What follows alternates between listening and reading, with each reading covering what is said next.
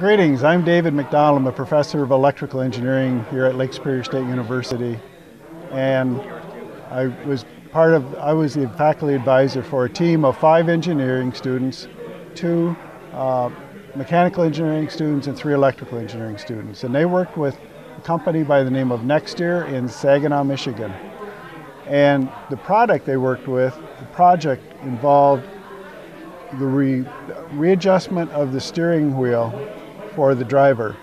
And instead of a mechanical linkage, this system now has, I can push a button and it allows me to keep both hands on the steering wheel. I can move it in and out and up and down and then let go of the button and it'll remain locked. That's opposed to a mechanical uh, leverage that I would have to release and adjust.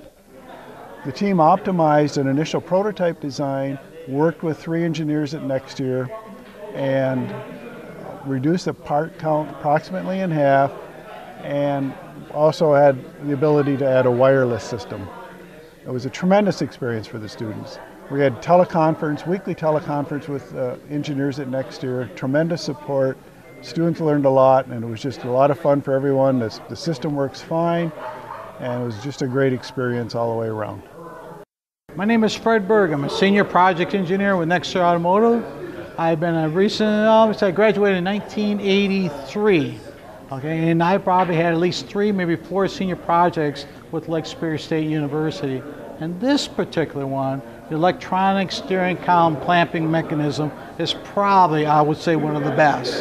The unit itself works with a wireless button, and as you press the button, the light comes on and allows us to adjust the column up and down or in and out. This particular unit here with the senior staff has been really awarding to me as well as to the students with a real world hands-on experience that we've been accustomed to here at Lake Superior State University. Hey, I'm Kyle Finland from Steering Innovations and um, I'm here to show off our electric steering column project that we worked on.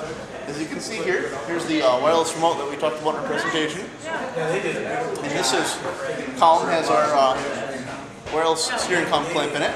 So we just push the button here and it will unlock the steering column.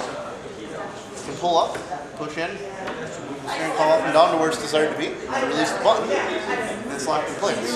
So you want to move it again, you can just push the button again, put it where you desire, release the button, it's locked up.